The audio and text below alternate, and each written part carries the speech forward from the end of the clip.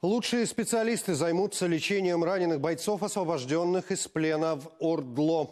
Об этом во время посещения раненых, находящихся на лечении в главном военном клиническом госпитале, заявил президент Петр Порошенко.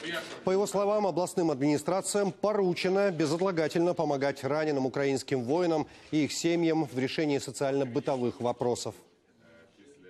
Те, що ви витримали в полоні, те, що ви зберегли Україну, те, що ви не зрадили, і те, що ви зберегли в серці, я думаю, що дуже добре характеризує весь наш народ.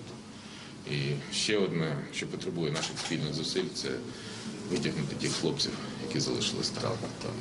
Хочу сказати, що я вже доручив своїм радникам, своїм представникам тристоронньої контактної групи, щоб ми негайно організували зустрічі продовження переговорів.